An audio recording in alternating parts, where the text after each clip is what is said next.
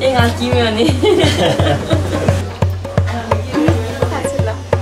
도망가 도망가 수레바다라